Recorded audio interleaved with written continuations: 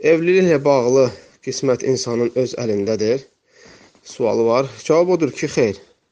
Evliliklə bağlı qismət məsələsi təqdir ilahidir bu. Allah Azza və Cəllənin qeyd elədiyi qəza və qədər məsələsindəndir bu.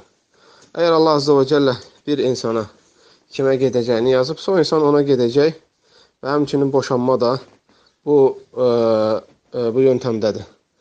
Bu birinci məsələ. İkinci məsələ, bu məsələnin təbii ki, şər'i səbəbləri var. Şər'i səbəbləri var. Qadın əgər bu şər'i səbəblərdən istifadə edərsə və sonra ona ərə getmək nəsib olmazsa, deməli Allah Azza və Cəllə ona belə yazıb və bu, bu bunun üçün daha xeyirlidir. Əslində həddi zatında istər kişi olsun, istər qadın olsun, ə, ərə gedib bədbəxt olacağını bildiyi halda məncə nə qadın ərə getməz, getmək istəməz, nə kişi arvad almaq istəməz. E, çünki hər kəsin şər'i evlilik tərəfindən arzusu xoşbəxt olmaqdır. Məsələ, hansı qadın istəyər ki, hansı qadın istər ki, bir kişiyə gedə e, və sonra hər gün döyülə, hər gün söylə, hər gün təhqir oluna və insan yerinə qoyulmuyor.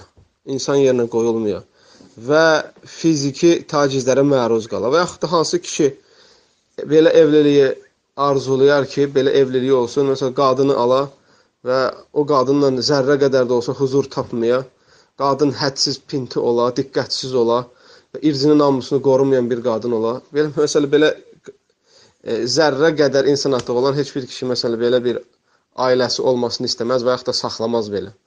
Deməli məsələlər var ki, əgər alınmırsa səbəbləri tutduqdan sonra bu o deməkdir ki, Allah Azza və Cəllə onları hər daha böyük müsibətdən qoruyur.